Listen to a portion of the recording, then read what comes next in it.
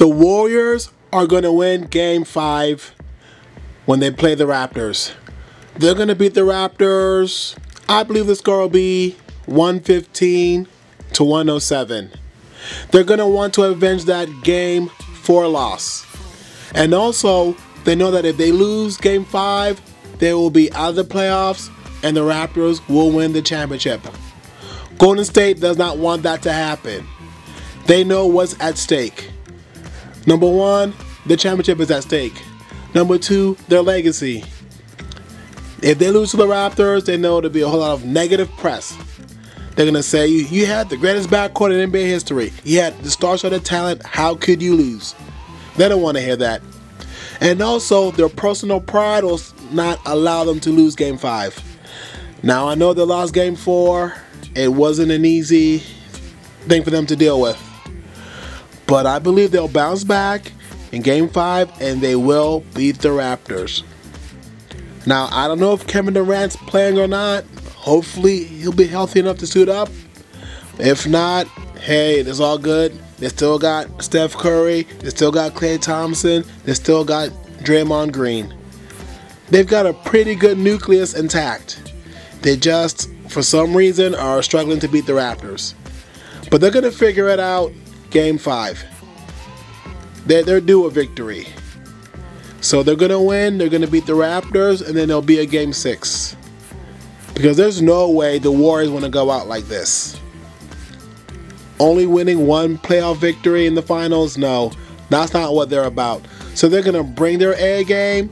Steph's going to probably score another 30 plus points. Klay Thompson might chip in with 30 as well. Draymond Green might have a triple double.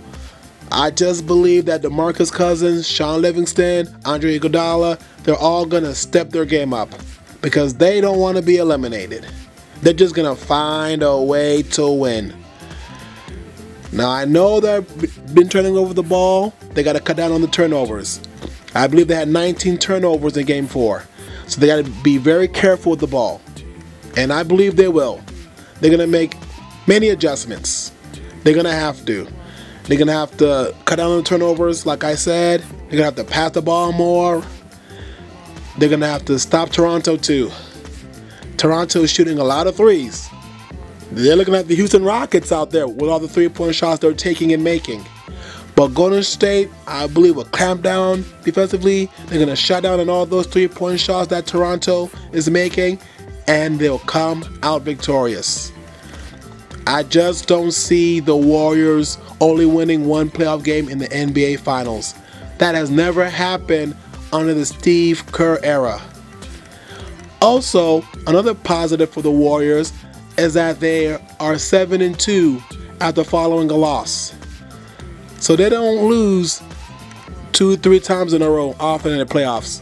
That is a rare occurrence. So with Steve Kerr, when they lose one game, they usually win the next game. So they're like I said, they are due win. They're gonna play better. They're gonna cut down on the turnovers. They're gonna win game five, and they're gonna stay alive in the playoffs. Because like I said, they're gonna play well, and I still believe they can win the championship. They still have a chance to do it. It's not gonna be easy, but they still have a chance. If they cut down on the turnovers, they tighten up the defense a little bit more, then they'll be good to go. So I believe they'll win. But I want to hear from you all out there. Who do you believe will win game five between the Warriors and the Raptors? If you agree with me that the Warriors will win game five, you can let me know. If you disagree with me and think that is the Toronto Raptors who will win game five, you can share that with me as well. Thanks for watching. Thanks for listening. Please subscribe to my channel if you haven't done so already. All you have to do is press that subscribe button below the video. If you did that, I'd appreciate it a lot. It would make it mean a whole lot to me. And plus, you'd be getting more content from me by subscribing. Well, thanks again for watching. Thanks again for listening. And I hope that you all have a blessed, wonderful day.